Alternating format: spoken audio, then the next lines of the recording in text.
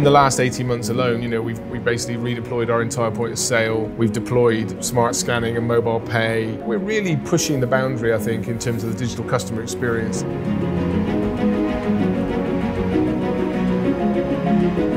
Technology is the business. I actually think we're going to see CEOs come from the CIO, CTO family. I think we're going to see more businesses be led by career technologists.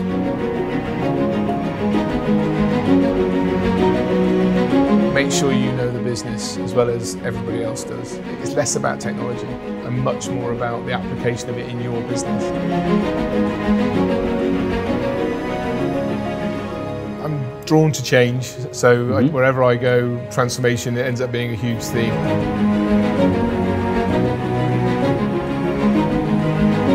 I'm just a big believer in transparency and honesty. You know, transparency drives speed in a business.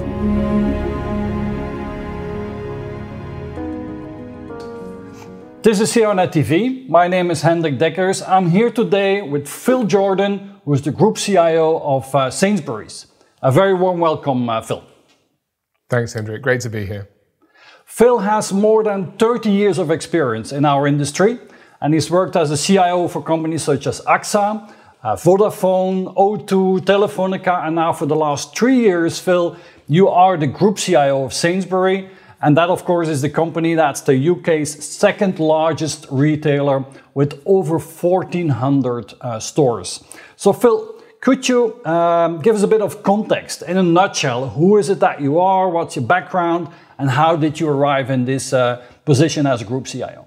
Yeah, morning. I mean, yeah, I'm a career career IT technology leader. I guess. I mean, I've I've worked in telecoms for a long time. Uh, mm-hmm. but came up through from from working in IT to, to lead IT teams and ultimately lead lead technology functions and uh, became CIO for Vodafone and I've spent time like I say in telco and now in retail. So mm-hmm. a career technology guy, Hendrik, can come up through the, the ranks really of IT uh, to lead lead the lead the function. Okay, and for those of you who don't know the company, could you uh, in a nutshell, explain what is Sainsbury and what is it really good at? Yeah, we're a, I mean, we're a group of businesses. I mean, primarily our main business is Sainsbury's, which is uh, which is a grocery supermarket business. As you mm-hmm. say, one of the big four in the UK, second biggest retailer in the UK. But we also have Argos, which is a, a general merchandise business, and we have a bank as well, uh, Sainsbury's okay. Bank. And then we augment that all with we, we run Nectar, which is the UK's largest loyalty uh, affiliate program. So they all come together as and make us a sort of multi-brand, multi-channel retail business. Okay, great. So Phil, you have worked on a couple of big transformations, uh, both in your last job at Telefonica and now at Sainsbury's.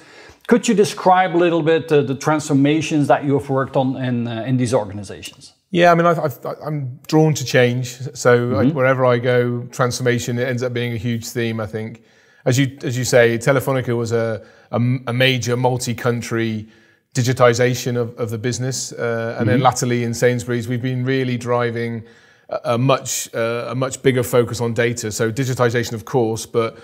pulling right the way through into a real insight and data-driven transformation. Really recognizing that as a business, you know, we, we have a tremendous amount of data uh, about how the UK population lives their life and really mm-hmm. turning that into insight and action. So, so two major transformations, both, you know, digital at the heart, but digital and data becoming really, really crucial for Sainsbury's. And so at, at Telefonica, what was, the, what was the biggest challenge in that transformation that you had to uh, overcome? Yeah, I suppose the biggest challenge at Telefonica was, first of all, getting the business to recognize that we needed to change. Uh-huh. I think, you know, large incumbent business, very successful, you know, that urgency and that need to transform took, took a while really for, for us to sort of to explain that, I think, to the business and, and, and have the business really want to lead a business change enabled by technology. And then obviously the next challenge was making sure that w- the way we ran it was very business led.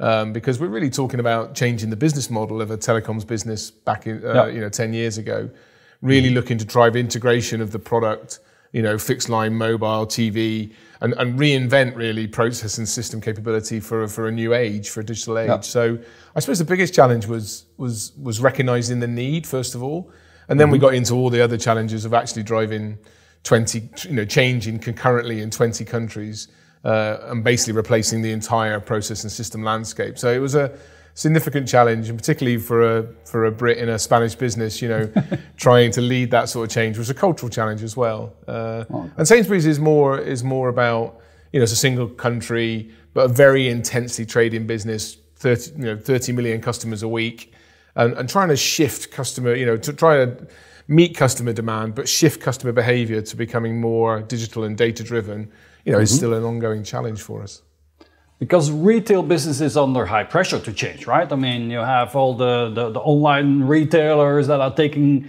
taking away your business. So so how can a a big company, I mean, with the traditional, uh, how would say, big companies don't necessarily change quickly. So, so how can you make sure that when there is online retailers that are grabbing your business, how you can make sure that you have that you make the necessary changes in a big company like that? Yeah, I mean, you know, we're a big business. We've been around for 150 years uh, okay. as a business. So, you know, in, in, one sense, you, you think, well, you know, ha, ha, that's a business that's difficult to change. Actually, we've been innovative from our, it's in our DNA. You know, we were okay. set up by the original Sainsbury's family um, to create healthy butter to feed mm-hmm. uh, inner city London uh, people. And if you look through our history, you know, we were the first to have checkouts, the first to go self-service. The, so there's something, and our, and our food products very innovative. So I think there's something really innovative in our DNA.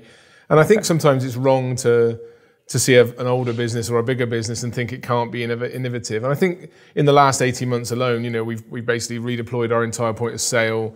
We've deployed smart scanning and mobile pay. You know, we're, we're really pushing the boundary, I think, in terms of the digital customer experience that people can mm-hmm. expect when they go into a into a superstore. So I, I think actually we're a lot more innovative as a business than perhaps people give us credit for. But of course, I think part of the job of the CIO, I think, is to is, is to be able to really engage in that dialogue with the business about the art of the possible and reimagining the business using technology differently. And I have to say, I found Sainsbury's to be very ready to change, you know, really willing okay. to change and ready to change. And I think it's because, as you say, there's so much pressure to change. You know, mm-hmm. it's either being, you know, at the low end being sort of disintermediated by the discounter businesses, Aldi and Lidl, in, if you know mm-hmm. the UK market. And obviously at the top end, general merchandise, we have Amazon, you know, very, very much toe to toe with Amazon. So you know, it, the competitive threat is really clear, and I think mm-hmm. that's created a really um, a really interesting opportunity for change. And actually, I think if you think of this year alone, you know, COVID coming along as it has is another massive catalyst for change. So, yep. you know, I think that you know the, the, sort of stars have aligned for real change in our sector, and, and I think we're at the forefront of it. Okay, so you would say that Sainsbury really has a culture of, uh, of, of change and transformation and innovation? Sainsbury's is a business that's made up of a number of cultures. I think you know it's, it's born by acquisition, and um, uh, you know we've put some bits and bobs together to make up a group of businesses. And like any mm-hmm. group, mm-hmm. I'm sure anybody watching this who, who, works in a group context will know typically one culture doesn't pervade the whole business. But okay. I think on the whole we're a we're a very customer centric business, and mm-hmm. I think because customer trends have accelerated so fast this year I think there's a real ambition, collective ambition to, to drive change in the business, mm-hmm. particularly mm-hmm. I think customer facing, customer front end.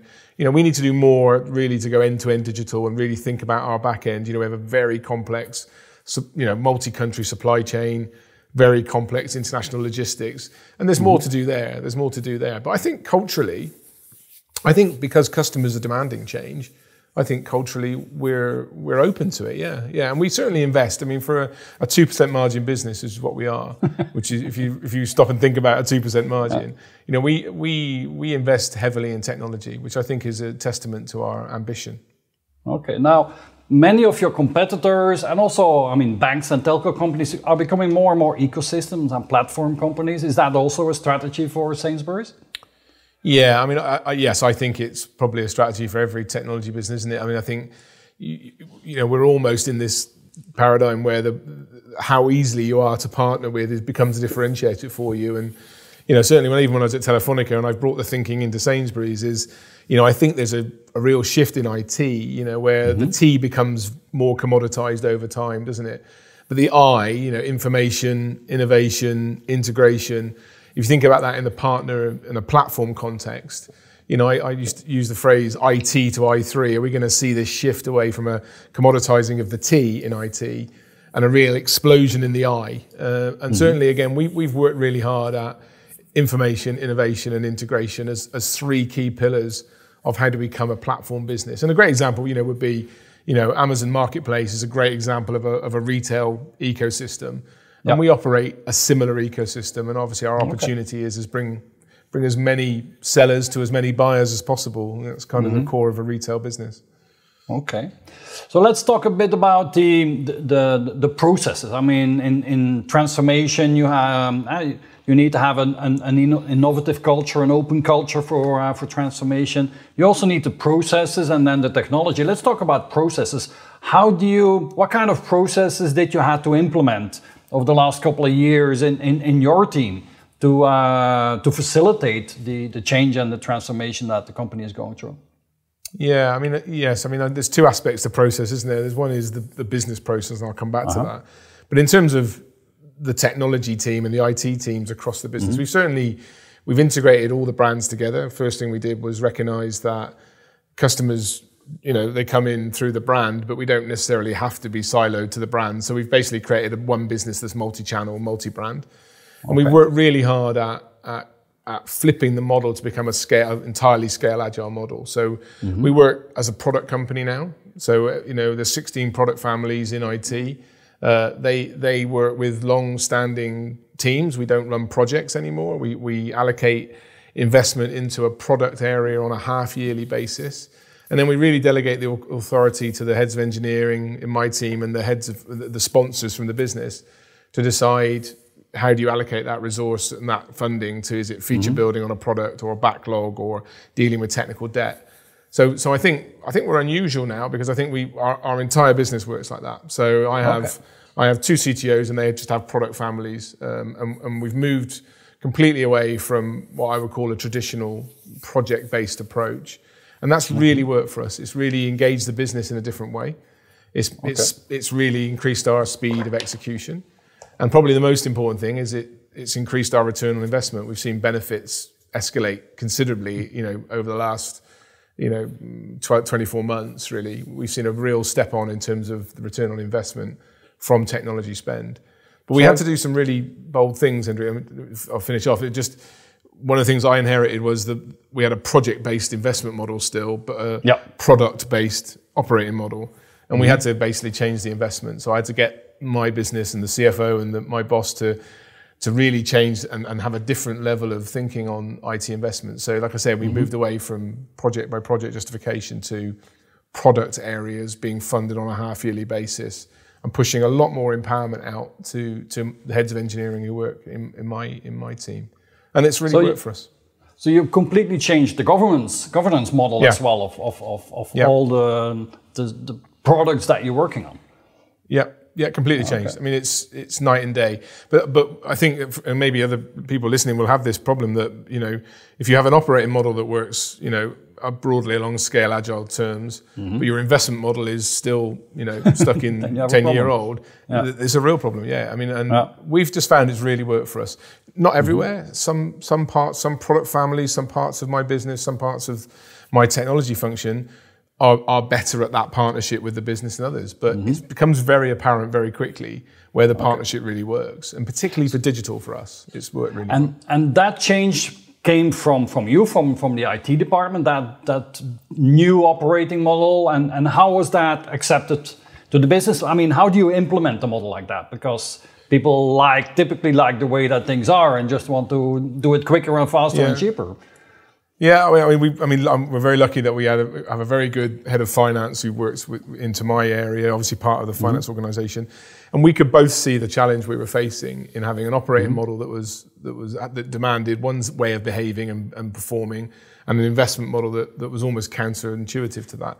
So we yeah. we, we, we, we, designed it, we, we put it into an organisation, we experimented inside our team, we took one product family and experimented, and we proved, I think, over the course of sort of four or five months that we could see increased levels of empowerment, increased levels of accountability, but most important, that return on investment creeping up because people felt very, you know, emotionally connected to to the use of technology, not just the delivery of it. And I think mm-hmm. this is one of the differences. It's you know, it's not. It, it, I think we typically traditionally are very focused on up to the delivery.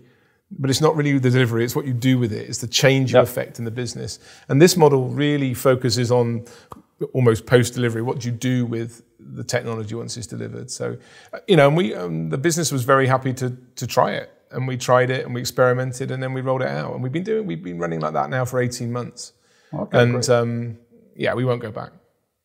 And also, and so you would say that your teams that work that way are happier teams than than teams that still work on more in a project uh, way. Yeah, I mean, we, we, yeah, definitely, because I think what you know, if you think about what's in it for everyone, if you the heads of engineering, the guys who are delivering, girls who are delivering for me, um, they're not they're not in this world where they have to allocate resource on on a on a project life cycle basis. You know, they can build a long running team, they can build capability in that team. They you know they have more empowerment to what that team does. You know, is it yep. fixing technical debt? Is it adding feature. So they feel a lot more in control. Mm-hmm. Um, and, and I think the business feels like they've got their own technology department on a product by product basis. So they, yep. they know where to go, they work with a product area. Um, and we're going to go a little bit further, actually. I mean, we're going to go further and into DevOps in that world and, and basically you know, have end-to-end product lifecycle management all in these product families. So mm-hmm. we think there's another iteration to go even further down this path. But okay. yeah, it really works for us. I mean, the, the only downside you'll get is it, it's a leap of faith for the CFO, particularly. Mm-hmm. Because I'm, I'm saying you have to allocate, we have to allocate capital into these teams on a half yearly basis, and then we'll review outcomes at the half year point you know, that's a leap of faith, and you need to have a decent relationship across the executive board to, to do it. But um, it's, it's well worth the while. And so, how the in that model, how because you're it's an old company, it has been around for quite some time, so there must be tons of, of legacy there as well. Well, how do you manage yeah. legacy in, in, in, in, in a model like that? Well, I mean, yeah, I mean, we have, I mean, we're 150 years old. I'm pleased to say some of the technology isn't 150 years old, but we've got 30 year old technology. You know, in our supply yeah. chain area, particularly, you know, you think mm-hmm. of the core of a retail business is is moving, buying and moving, you know, product. So yeah, some very old technology. And actually, I think this model helps because I think, you know, a project-based model tends to always force you down the path of the of, of features, new new things, new capability, the next thing the business wants. And of mm-hmm. course, if you're not very, you know, if you're not very disciplined, you, that's a great way to build legacy and build complexity. Yeah. Um, Whereas what we're saying is in this product family, you have responsibility for tech debt, for, for legacy, for the cost of ownership, for the feature building, for experimentation, and you have to find the balance. You know, you have to mm-hmm. find the balance. So actually, I think it drags that legacy problem out of IT ownership and firmly into a partnership ownership with the business. And that's good. You know, I think I've worked a lot of places where the, even the cost of that legacy is not clear. It's not clear enough to the business, and therefore yeah. it gets overlooked. So mm-hmm. I think this model really works because it, it, it, you know, it sheds, sheds light on a problem that technology owns if, if you're not careful. Mm-hmm. Okay, let's talk about cloud for a moment. What is what is your current state on on cloud, open hybrid cloud, and what's your vision and strategy um, uh, for the coming years on cloud? Yeah, I mean we've been a sort of cloud first business for for three or four years now. So our default delivery consumption model, if you like, would be cloud based. Mm-hmm. Uh, and we've, you know, we've successfully deployed many new applications and services into the cloud. So we've transformed our HR, our back office HR world. It's all cloud based. We've we've taken our e-commerce engines for both brands, both main retail brands, and we've taken them to the cloud. Mm-hmm. So we're very much a cloud first business. Um, hybrid cloud, I think, like most people, you know, we're you know, one of the probably one of the few retailers who do work with AWS with Amazon, and uh, which is some people are surprised about. I'm sure we'll talk about that. But you know, we we very much see cloud-based consumption model as as the way forward. Software mm-hmm. as a service when we can, uh, and and we're just you know we're we're sort of halfway through. I would say taking all of our estates and, and, and putting them in the cloud. You know, we're running a, a big data center consolidation right now that will that will take us further. So you know, we're well on the way, but default would be to, to work in the cloud now. And you, you think you'll arrive at 100% cloud and you, where you can close your data centers? Uh, yeah, I think we will eventually. Uh, maybe mm-hmm. maybe not all data centers, and we'll probably always want to have some degree of on-premise uh, hybrid on premise for, for certain reasons. But mm-hmm. I'd like to think there's there's very little that we wouldn't ultimately end up working in the cloud. You know, we've even managed to take some of that 30 year old supply chain legacy and, and, and, and, take it to the cloud as well, just to give us capacity and, and, and growth potential. Mm-hmm. Uh, but yeah, you know, we're deep in a process and system transformation around supply chain logistics at the moment. Um, again, cloud based, you know, a lot of machine learning and algorithmic um, calculation opportunity in those solutions as well. So yeah, maybe not 100%, and, and I'm sure it, it's beyond my tenure getting there as well. It'll take some time, but mm-hmm. I think we're um, we're we're on in shape to get virtually everything into the cloud. Yeah. And I understand you you have a multi-cloud strategy, so you work and with AWS, Azure, Google. How do you decide what do you put where, and, and how do you how, how do you do this uh, multi-cloud? How do you make sure that you're not vendor dependent on on, on the cloud vendor? Yeah, we, we've got some way to go, I think, in terms of vendor dependence and making sure that we mm-hmm. give ourselves the real flexibility that I think everybody wants. Uh, but we're a we're a big Amazon partner. We you know we made a choice before my time at the business. We made a choice to to, to partner with AWS, and I have to say they've been mm-hmm. a very good partner for us. It's a question I get asked probably a lot. Yeah, uh, you're, you're feeding the enemy, right? yeah, uh, but we've we you know we genuinely found them three years ago. We genuinely found them to be ahead in the game. Uh, mm-hmm. and, and, because we were one of the few retailers who were prepared to partner, I think we got some, you know, some really good uh, okay. Partnership from them. Mm-hmm. Uh, but we've been working hard to try and level the playing field, uh, working hard with Microsoft uh, for Azure, and we've worked, we've done some interesting stuff with with, with GCP, with Google as well.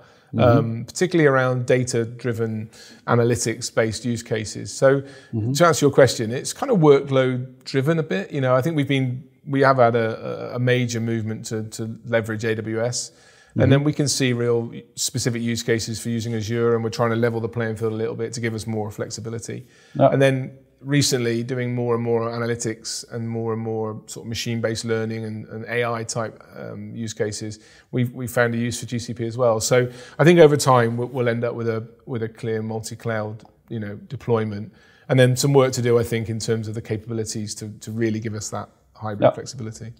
So you're sitting on, on heaps of customer data. I mean, you have more data than, than you want maybe. So there's a there's a lot of value in there. So how do you how far are you? How mature is the organization in, in getting the uh, most out of that customer data using artificial intelligence, machine learning, and so on?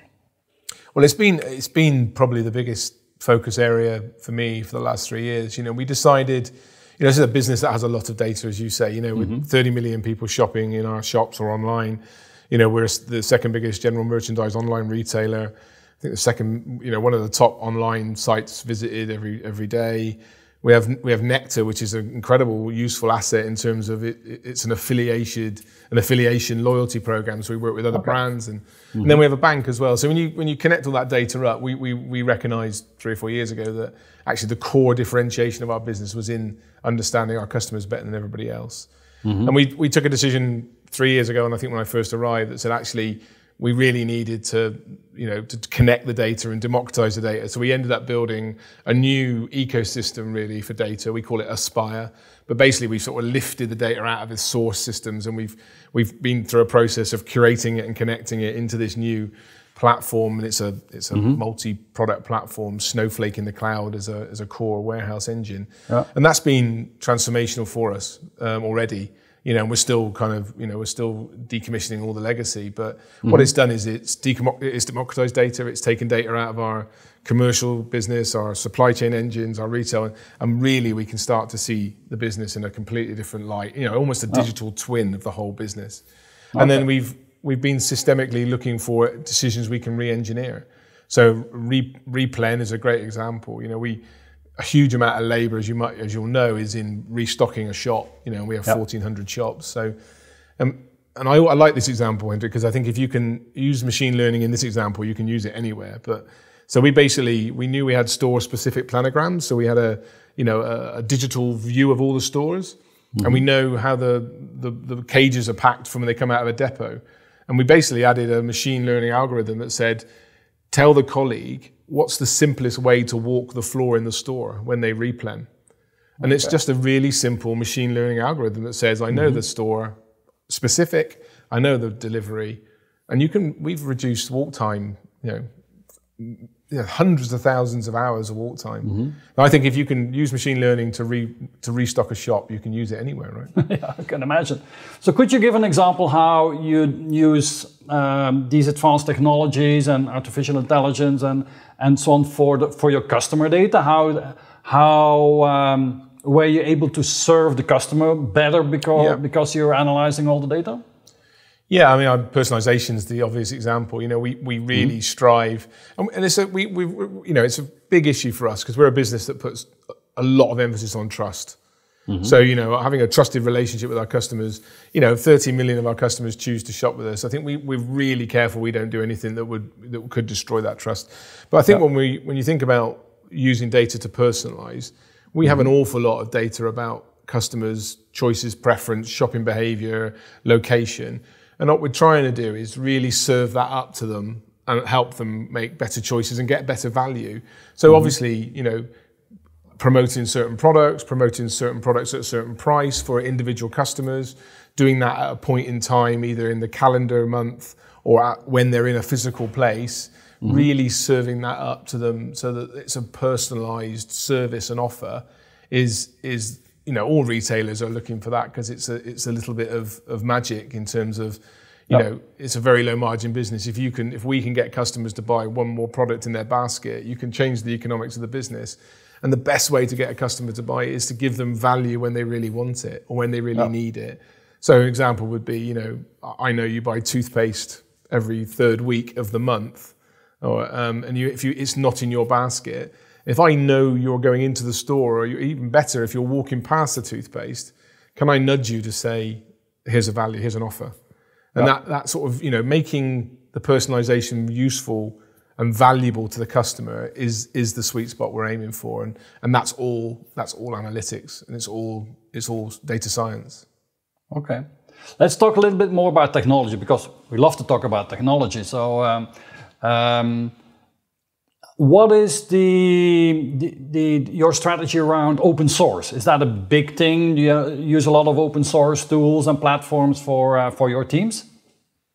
Yeah, I mean, I mean, we've worked again. We've worked hard to become an engineering business again. You know, we mm-hmm. we you know I have sixteen hundred people in the organisation, and you know probably eight hundred engineers. So you wow. know we we do a mm-hmm. lot of development, a lot of engineering, mm-hmm. and and we do it because we feel it gives us the agility and, and the and the speed and the and the sensitivity that we really yep. need. Now, you know, with a very strong engineering culture, there's a very strong drive towards open source. Uh, you know, for all the reasons that all you know the listeners will all know, in the sense of it, mm-hmm. you know, it gives us a potential to to break some of the big license you know monoliths we have, and but also it really gives us an opportunity to to engineer you know beautiful solutions and contribute back into into the community as well. So a good example would be you know e-commerce in one of our you know retail brands. We've mm-hmm. we've effectively built virtually the, the, the end end to end e-commerce solution is an open source is based on open source. So yeah, it's a big deal for us. I mean, we obviously are a you know a build buy organization, so it's a combination of approaches. But when yep. we engineer, if we can engineer and can build, uh, looking to build an open source wherever possible is very much high on our on our sort of design principles. Yeah. Okay. So we talked about cloud, we talked about open source, we, we talked about artificial intelligence and, and, and tools, different uh, technology stacks, let's say. Do you see other domains, other areas of technology that are new and exciting uh, for the use in your business? Yeah, I mean, I think you you touched on the important ones. I think, mm-hmm. um, and we're and we're still very early days. I think in really exploiting that, and I think mm-hmm. the technology is far in advance of the business's readiness to accept it. And uh, you know, still, I think what we can do with data science, I think, is already beyond what the business's ability to really understand yep. how to, get maximum value from it. So there's a bit of catching up. I think, or we need to keep it in parallel. I think. Mm. But the one area, I suppose, for a retailer, we're all really interested in is is in imaging, in video, and, and video okay. analytics. You know that we know there's a paradigm shift coming at some point uh, in a retail business away from barcodes and, and scanning and you know and we've seen a little bit with with Amazon in the US but you know can we you know when when it's affordable and when it's a practical thing to do can we make the shopping experience even more seamless and intuitive by yep. by relying more heavily on video analytics. So I'm really excited about you know the combination of of, of cloud analytics and data and video because yep. I think when we, we can start to create fundamentally different customer experiences. So I'm really excited about that. Uh, and we've, you know, and a little bit, we've played a little bit with augmented reality and virtual reality, particularly on our general merchandise business. You can go on there and you can select a television and put it on the wall in your house, or you can put a okay. sofa in your front room. So we've played a little bit with, with augmented reality, but I suspect that's another area where, you know, the shopping experience becomes a lot more immersive, will blur the boundaries between real and augmented reality. And, and I think, you know, those combination of those two make me really excited for customer experience for the future. So, how long do you think it will take you and, and the organization to come up with a system where I can just come into a Sainsbury, take whatever I want, and just walk out without without needing to, to pay and everything goes automatically? Well, I think we're always going to want you to pay. that's for sure.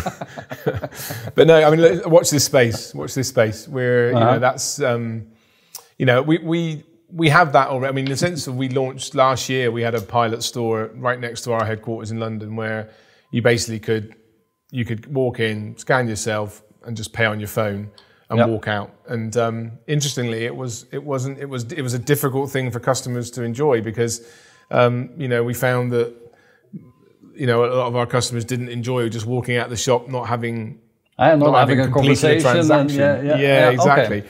And I think one of the challenges for our business is, you know, it's it's not a one size fits all. You know, I mean, you know, we have, you know, self service and self scanning, and and we will we will have walking out. I'm sure in the near term, but we also serve 30 million customers that range from you know 15 year old children to 85 year old adults, and they want to shop differently and they have different expectations and you know we need to always bear that in mind you know so we'll we'll introduce it in a really progressive way but yeah watch this space we're not far from what you're describing okay great looking forward to that so Sainsbury's and, and, and the group is a huge company. I, I understand there's about 180,000 people that work in the, in the company. And you have uh, 1,600 people in, in, in IT and digital. So how do you organize 1,600 people, 1,600 people to serve the, comp, uh, the company and, and, and build the products necessary to do the, the transformation that you're going through? Yeah, I mean, 1,600 of our colleagues and then many thousands in our in our partners as well. As you okay, say, it's a big ecosystem. Yeah, mm-hmm. I mean, so I'm organize. We organize, and we and we've just we're just changing the organization, but I, I now have two CTO organizations that do the engineering and or now do mm-hmm. the, the, the, full life cycle application development and management. Yeah. One one faces the customer, so one's customer and data. So that so we put everything that the customer can touch and feel is engineered by by one organization, and then we have one organization that faces the business. So it's colleagues, mm-hmm. suppliers, and and the business operations. So that really works for us because we're driving so much connected end-to-end change that having a customer focus and a colleague focus it, yep. it's quite powerful. So two CTO organizations do that. Obviously, the the bulk of the organization sits there. I have mm-hmm. a platform engineering and service organization. So we do a lot of our own platform engineering to uh, you know environments that, that, these two engineering functions will develop on. Mm-hmm. So platform engineering and service. So we've combined infrastructure and service operations and platform together. So that organization, two CTOs, and then I have um, a CISO organization, data security and data governance. Uh, and then I have one organization that helps me manage and transform technology. And typically it does it manages all our partnerships. So it does program management, it does supplier management, it does colleague experience, you know, and it does a, a, raft of things really close to me and, and, works with me on driving change. So it's a pretty tight organization. Um, mm-hmm. You know, but but broadly speaking, big engineering functions, big operations and platform, CISO, and then and then this well, we call it TBM, but it, it, manages all our relationships. Yeah. And what is fundamentally your role in, in, in, the company? Because you you made your life simple. You have four or five teams, four or five people to manage. But I'm just joking. But what is what is really your role? What is the fundamental yeah. value that and and and the the added value that you bring to the company? My, my role is chief transformation officer. It's a leader of change at the business level. So you know, I you know, I you know, I, storytelling and change is what I do. I mean, I think my job is to is to create the impetus for change, deliver great change, create momentum for change by really, mm-hmm. you know, by storytelling. And I, and I, I big believer that's the role of, of CIOs. I think if, if you're a CIO and you're not, you, if you're not at the forefront of business change, then you probably, you know, haven't got positioned quite right where you need to be. Yeah. So I spend, I, you know, I now, I'm, I'm in th- my third year of the role, so the team's pretty well set up. We've been through a few organizational iterations, and the one I describe is relatively new. Mm-hmm. But a lot of that's to free me up to to play that role across the exec yep. team and to lead change. And uh, and I increasingly have more accountability outside of technology for change uh, in the business because I think you know a it suits my leadership personality, but also I think technology is a core differentiator and, and a driver of change, particularly now, particularly coming off the back of COVID. Um, it's never been there's never been a better time I think to be a technologist and lead change than right yeah. now because I think um, you know like I said the stars are aligned I think.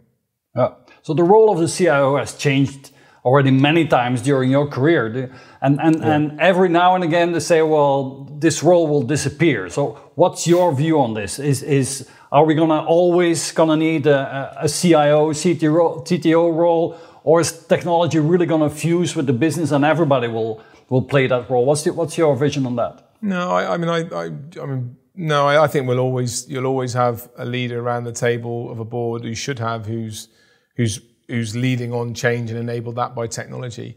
I actually mm-hmm. think we're going to see CEOs come from the CIO, CTO family. I think we're going to see more businesses be led by by career technologists because I think. Okay. You know, I think it's, you know, I, I've said this a lot to my business counterparts. You know, I, I, have lived through an era of it was a system of record, it was a system of engagement for a while. It always felt like a cost to serve part of the operations, yep. you know. Um, but now technology is the business. You know, yep. for for a retail company, technology is the core differentiator. Whether that's knowing your customers better through analytics yep. or fantastic online digital services, you know, or great logistics no. Nothing works without great technology, right? And, I, and, and we're 180,000 people, as you said. So, but we genuinely believe the real sweet spot for us is putting great technology in the hands of great people. No. So I don't think we're, you know, a business that will, will, you know, will not have any people in it, or will, you know, I'm sure we'll get more efficient and effective over time with the number of people no. we have. But that combination of great technology, great people, we think is the real recipe for great customer experience. So yeah, I, I definitely think CTOs, CIOs on the boards of businesses, no no risk there. I think some of the other jobs, like the, the, data jobs and the perhaps the digital officers, they do feel quite transient for, to me. I suspect we'll we'll see chief data officers, chief digital officers. You know, that will, that will roll back into CTO yep. and CIO over time, I suspect. But yeah. So I'm sure you're having a ball at Sainsbury, but do you see yourself maybe in the future then as, as a CEO of, of company and uh, like is, is that is that your ambition your your vision for the no, future? No, I don't think not for me. Uh, not for me. I, I mean I'm you know I'm probably too old now if I'm honest. But uh, no, I, I think um, you know I, I, I, it's change and transformation that really attracts me, and that and mm-hmm. technology is the best place to work. And I I think there's lots to do in many many yeah. businesses. So no, I think for me it's more I'll, I'll eventually finish my executive career, and then I think you know going off and working with a, a number of companies and helping. Drive change through maybe non-exec or other ways will probably be yeah. my future. You already, you already do that today, being a non-executive in, in companies, right? Yeah, yeah, I'm very privileged to have had a number of opportunities. Yeah, I worked with um, HSBC for a year, and then I, have been a, uh, on the board of TalkTalk, Talk, which is a, uh-huh. a broadband uh, telecoms business here in the UK and that's great and that's great and I, I find that's really valuable for me. It's a bit of a mm-hmm. decompression as well. It's an opportunity to you know go and have a non-exec conversation where i don't necessarily own the answer but i can be part of the solution. Yeah. um, but also I, I bring a lot back into our business you know of, of you know particularly being part of the audit and risk committee in another business. It, it's very useful to build i think leadership skill. Yeah. Yeah I think more and more CIOs in the future will become non, non-executive directors or will need to become more non-executive directors. Yeah. Not too many already do that today, but I, I, think I'm sure that will that will grow in the future. And, and, and like you said, it's it gives you a lot of extra business acumen and, and, and, and, and knowledge that you can bring back to the organization. Yeah.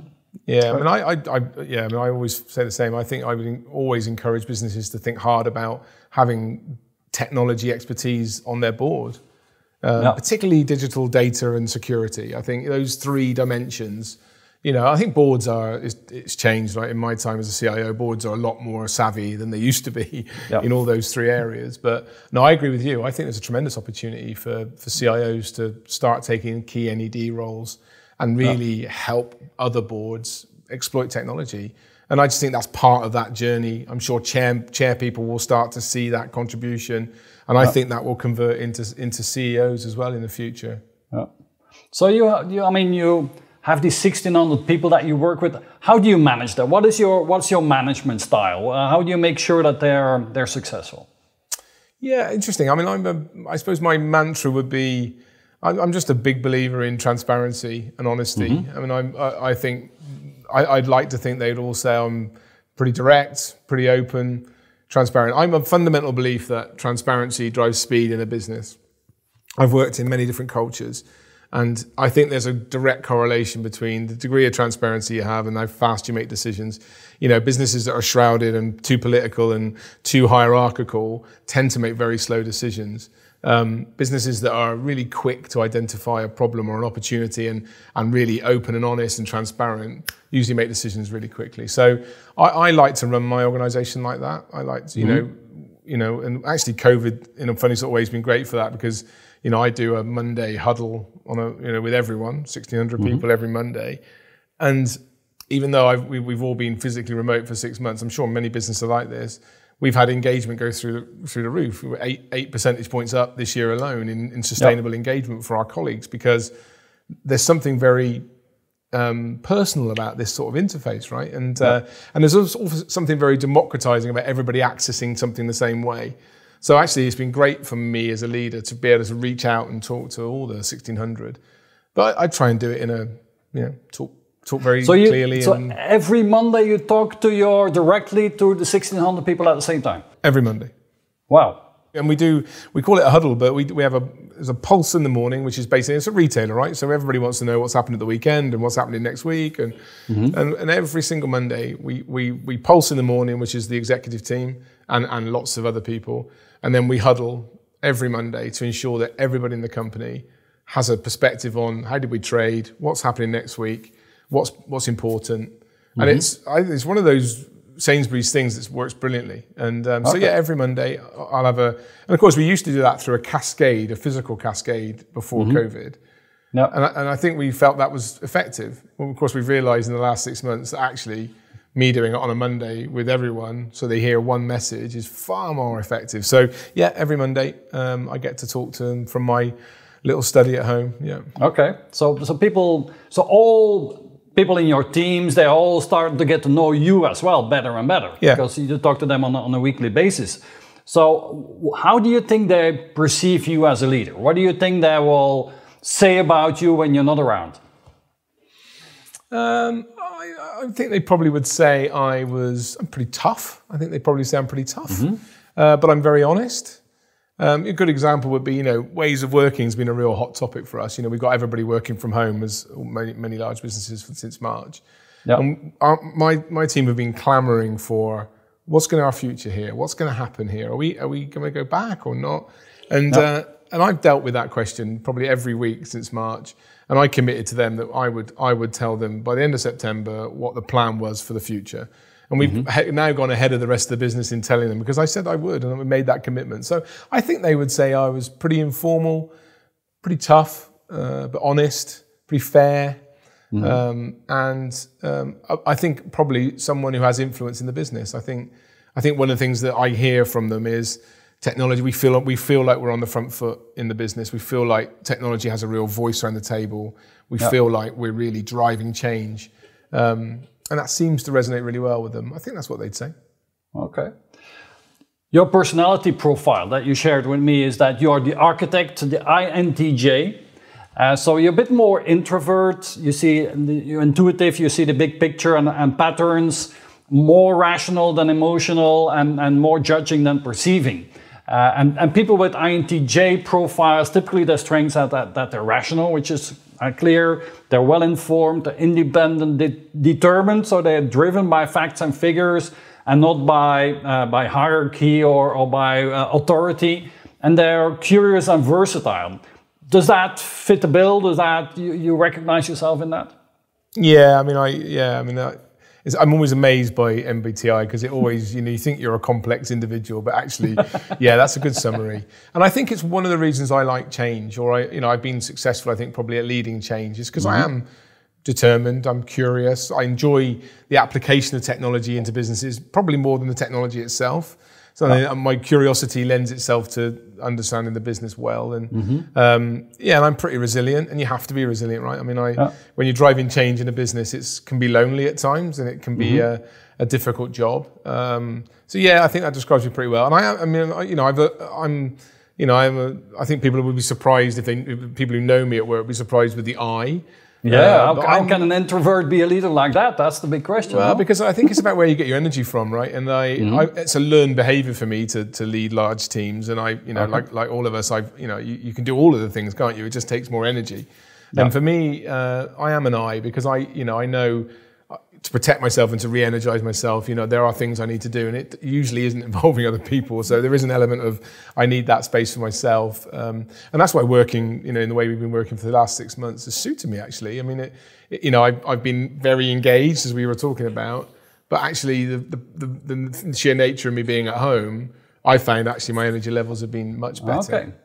And so how do you because the eye yeah. yeah. and and how do you relax? How, how do you get back to your, your yourself how do you digest uh, the, the, business problems and, and so on. So how, how do you yeah how do, how do you relax, Phil? Well, I mean, I'm a, like I feel like many. I have a very busy family life. So when I mm-hmm. when I mm-hmm. leave my office, you know, I don't get a lot of time to think about anything else other than what's happening in the house. I have three children and, and married to Claire with three great kids. Mm-hmm. All, all at you know, 20, 17, and 12, so all different times of their life.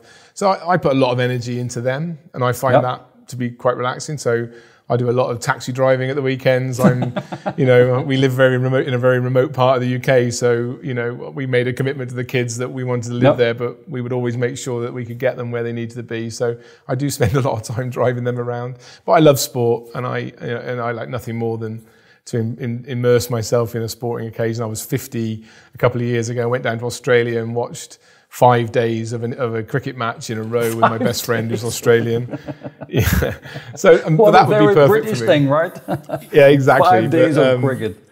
Five days in a row we sat there and had a thoroughly good time. So I suppose in a combination of family life and, and sport and, and friends, you know, like normal, okay. that would be that would be how I relax. So how old are your kids, and what are the, what are the values that you pass on to your kids? So what what do you think is important for them to be happy and successful in life? Yeah, I got. I've got three. I got a son Joe who's nearly twenty. Uh, mm-hmm. Who's off to university next week, uh, which is a big mm-hmm. moment for us. Uh, yeah. And I have a daughter Eleanor who's seventeen in, in two weeks' time, so just starting to drive and and starting her life. And then I have a little one Olivia who's who's twelve. Um, look, I think the values we try and instill in them is you know honesty and integrity beyond anything else, and mm-hmm. hard work. Um, and they all have a similar set of values to Claire and I. And as much, I think we all we all have a very strong sense of justice and fairness. Mm-hmm. Nothing irritates us more, all of us actually, than something that feels like it's not fair. So fairness, hard work, integrity, honesty, all the things I think we try and engender in our kids. Yeah. Um, yeah, and, and they're they're yeah they're fantastic. They're a life's work, and I'm very proud of them. Okay, great. So in your in your professional life or personal life as well, I'm sure there were uh, people that you look up to, people that learned you a lot of things, mentors in your life. Can you, did you have good mentors and could you give an example? Yeah, I mean, I've been very lucky. I mean, on the journey through leadership, you work with some great and some not so great leaders, don't you? And I think you learn. and you learn you from learn, both. You do. you really do. Yeah. Um, and I worked, I was very, very lucky. I worked for a lady called Jeni Mundy when I was at Vodafone. She was CTO at Vodafone. And mm-hmm. she was, and she still is, she's MD at, in, somewhere in Barclaycard now. But um, she was the, the first, I think, and the best values based leader I ever worked with and for. You know, she put her values and the values she wanted to create in the team almost beyond everything else which mm-hmm. meant she took a lot of pressure, but she always created an environment for others to really to, to go on and succeed. And, and we created, she created a really high performing team at Vodafone when I was part of that. And mm-hmm. it's interesting how many of us have gone on to do, you know, very big jobs, you know, all across the world. And it's mm. something about the way Jeni led, um, and and I and that was inspirational to me. And I I've been striving ever since to try and run high performing teams like like Jeni ran the one I was in. And, you know, I think when you've been in a high performing team, genuinely no. in a team that is, is is joined on intent, deals, you know, has constructive conflict, you know, no. t- challenges the issue, not the person, you know, really it, it's incredible. It's incredible. And I've been, you know, and I've, got, I've come close a few times with my own teams, probably never quite got there. So I, I, hold Jeni up as probably my, she's my North Star in terms of leadership. Um, you know, and it's great. It, she's a woman. It's great to, in a technology context to learn that from yeah. a woman, and there's a lesson for all of us there. I think. Exceptional. Yeah. Okay. So, in your 30 years career, what was in, in what would you perceive as the, as one of the best things that ever happened to you? And, and, and can you share that? Yeah, I mean, I, I really, making the decision to go and work overseas, I've, I've had two stints overseas in my career. Okay. I spent, in Vodafone, I spent time in Kenya. We did a startup called Safaricom. In Kenya, um, wow. Yeah, yeah. And so cool. I was part of the team that, that, that, created Safaricom, which is, I think they're the biggest company in Kenya actually, but it's a mobile operator in okay. Kenya. Um, mm-hmm. And then la- later on, I went. Obviously, I went from Vodafone to Telefonica, and then ended up in Madrid running mm-hmm. uh, running tele- uh, Telefonica technology. And uh, I think the, the, two choices to work overseas uh, have been career defining and life defining a little bit for me. Mm-hmm. I mean. I, you know, I loved I love the, the the shift of context. I love the challenge of cultural diversity. I love the challenge of de- trying to deal with it in a language context. But really, I love you know, thinking about how I lead and, and how's that got to change in the context mm-hmm. of 20 countries where I don't speak the language and, you know, I don't understand the politics. And, and, and I've just loved that. Um, no. And I've grown probably more from that experience as a leader than any other. Both of them, actually. Kenya was very early on in my leadership journey, mm-hmm. and Telefonica obviously more recently.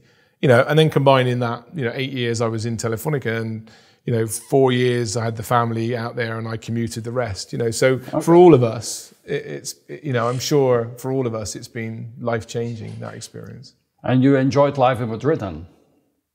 I loved life in Madrid. Yeah, it was yeah. a fabulous place to be and fabulous place to have children. Actually, Spanish okay. have a very have a very you know cool work life you know perspective on things. You know, and yeah. uh, you know, when I went there as well, you know, it was I, the, the average tenure in the role was about 18, 19 months in, in the role I was going into. Only, wow. So I said to Claire, you know, let's go. You know, there's a good chance I'll get fired in a couple of years and we'll be back. You know, and after eight years, and I had to make my own choice to leave. You know, I knew I knew I'd done some things right, clearly, but it was mm-hmm. a real wrench to leave Spain. Yeah, the, I had, my little one was fluent in Spanish and more Spanish okay. than English by then. So yeah, it was a real wow. wrench, but I loved it. I loved it. Okay.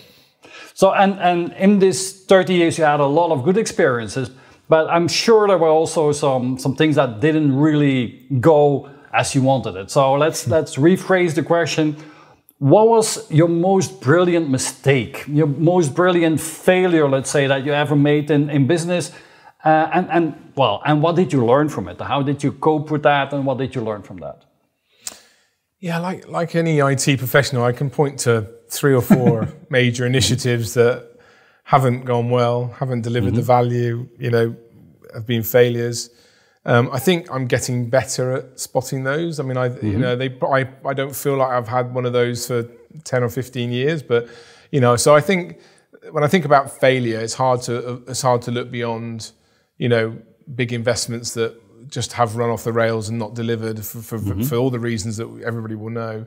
Um, yeah. And I've got better, I think, at you know, I got better at sniffing out and, and, and feeling as well as seeing and reading and hearing when things aren't right.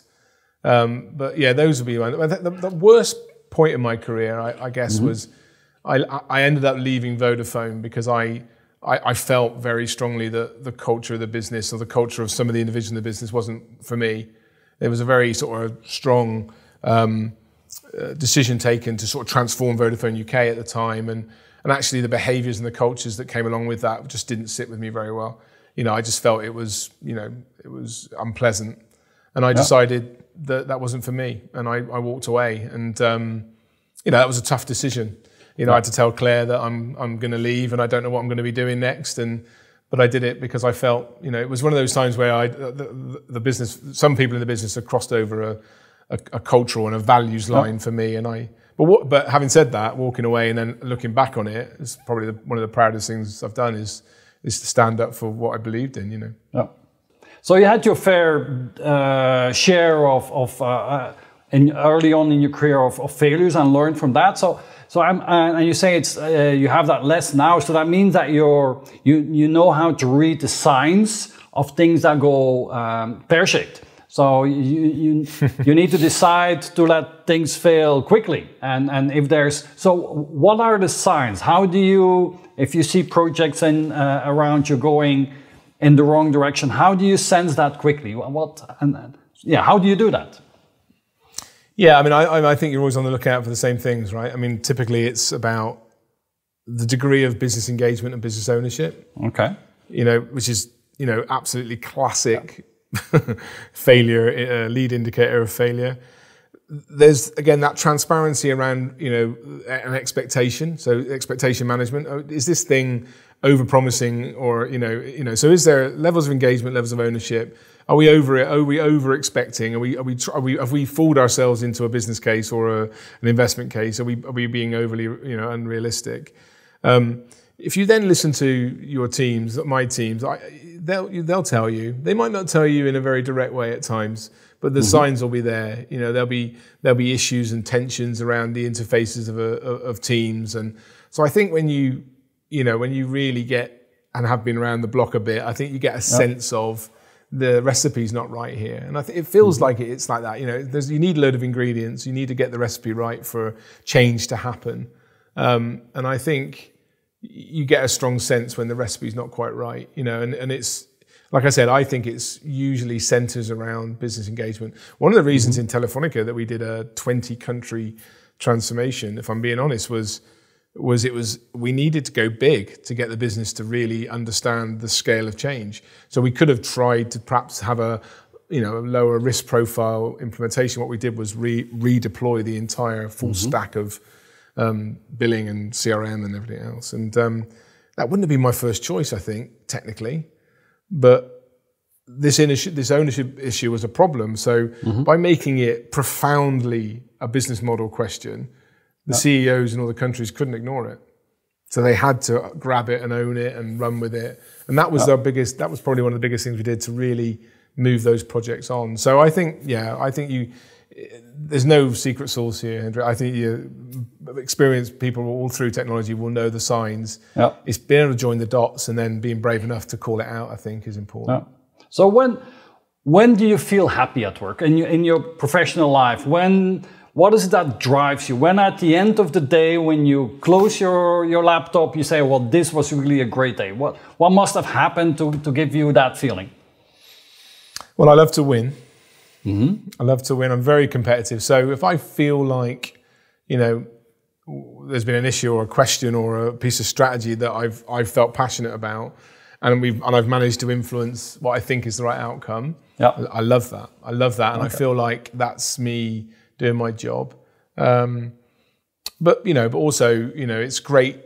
It's great to to cheer on success as well, right? I think when mm-hmm. we get when we deliver something and when, when something happens, it doesn't matter how small it's great to be part of that recognition process. So I love I love that. And actually, you know, it's one of those things that you, you learn, don't you, as a as an executive. Uh, you cast a long shadow. So finding the time to just pick out someone and and, and call out their deliverable their their contribution, mm-hmm. you know, actually really has an impact. So so I suppose it ranges from those two ends of the spectrum. You know, can I influence around the board table something I think we need to do? And if I can, makes me feel great right down through to can I pick out an individual at times and just tap them on the shoulder and say, I can see what you've done. I know the contribution you made. Thank you.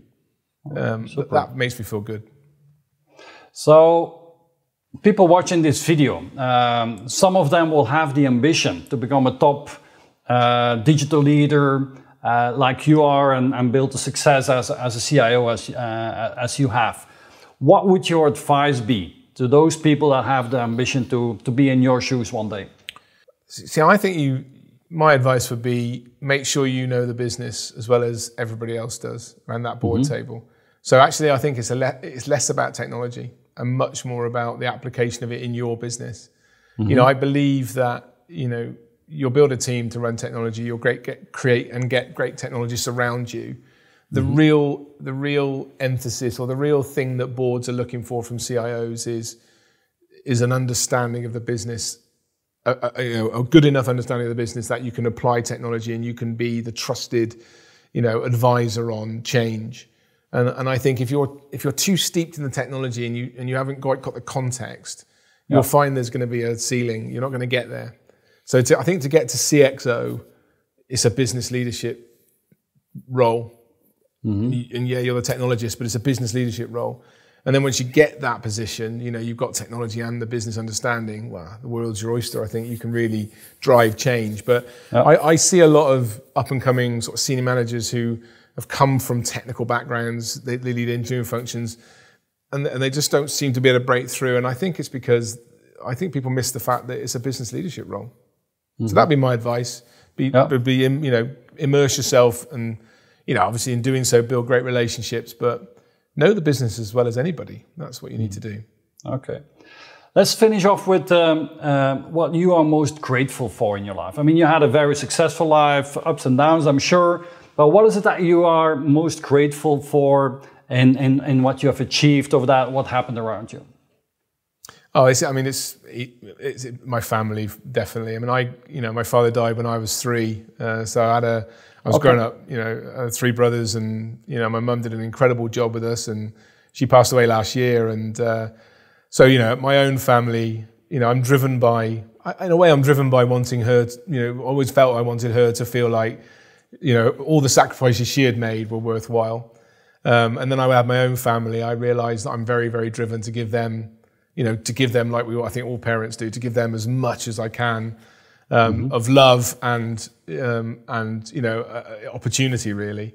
So uh, that's what drives me. It still drives me to this day, and I'm nearer to retirement than I am to starting my career. That's for sure. And uh, and you know the the rest of my you know the rest of my life will be will be immersed in you know what you know my own children and my own family and making sure that they've had you know the love they deserve and the opportunities that they crave. You know.